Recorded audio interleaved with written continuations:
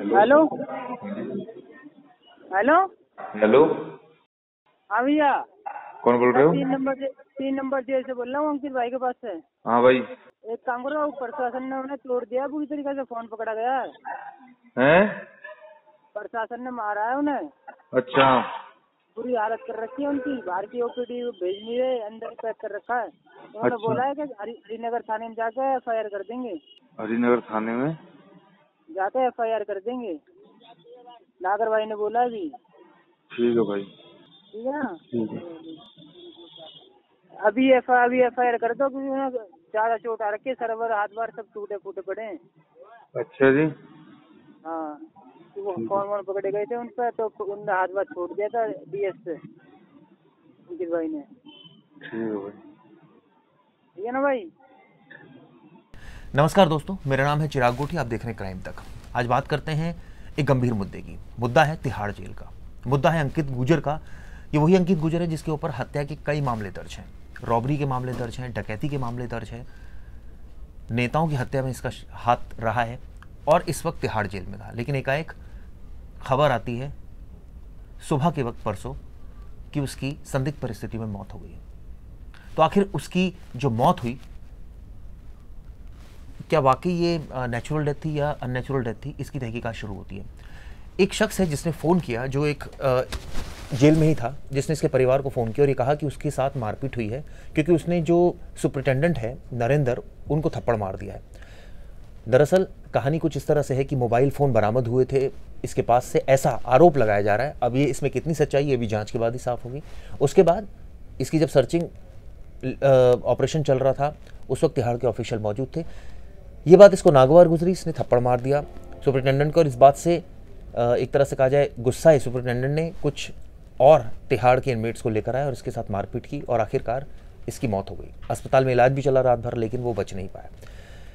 हमने वो वीडियो भी देखी जिसमें जो इसका पोस्टमार्टम हुआ था, उसके बाद कई सारे निशान शरीर पर पाए गए। तो क्या वाकई इसमें तिहाड़ जेल के ऑफिशियल्स इन्वॉल्व है या फिर इसके पीछे कोई और वजह है? क्या गैंग वॉर का नतीजा है?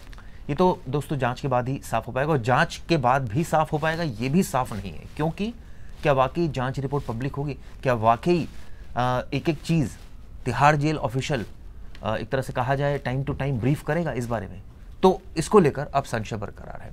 लेकिन सवाल सबसे बड़ा ये खड़ा हो रहा है कि देश की सबसे सुरक्षित कही जाने वाली तिहाड़ जेल में ये सब कुछ हो रहा है। हालाँकि पहले भी बहुत वाक्य हुए हैं। ये आपसे और मुझसे छिपा नहीं है तिहाड़ जेल के बारे में, जहाँ मोबाइल पर कैदी बात करते हैं। मुझे याद है एक केस मैंने भी कवर किया था नकीबुल्ला ड्रग पेडलर था उसकी भी इस तरह से संदिग्ध परिस्थितियों में मौत हो गई थी। इसको लेकर एक अलग माइंडसेट भी है अ, कुछ ऑफिशियल्स का वो कहते हैं कि ठीक है एक क्रिमिनल था मर गया तो क्या हो गया? वो तो देश के लिए समाज के लिए एक तरह से कहा जाए कि नासूर था और लगातार वारदातों को अंजाम दे रहा था। अगर मार भी दिया तो क्या गलत किया? ऐसे कुछ लोग कहते हैं। लेकिन जहाँ तक कानून सम्मत बात है वो ये है कि ये फैसला कानून लेगा कि किसको क्या सज़ा दी जानी चाहिए। ये फैसला कोई ऑफिशियल नहीं लेगा और ये फैसला कोई यहाँ बैठ के ऐसा शख्स नहीं लेगा जो जिसके पास ये सब कुछ करने की पावर नहीं है, नहीं है। तो ये कहा जा सकता है कि कहीं ना कहीं इस केस में जिस तरह से उसकी मौत हुई उसको लेकर सवाल खड़े हुए अगर उसको पीटा गया तो निश्चित रूप से जो दोषी कर्मी है उनके खिलाफ सख्त कार्रवाई होनी चाहिए क्योंकि ये किसी भी लॉ में और जेल मैनुअल में नहीं लिखा है कि इस तरह से किसी कैदी को पीटा जाए।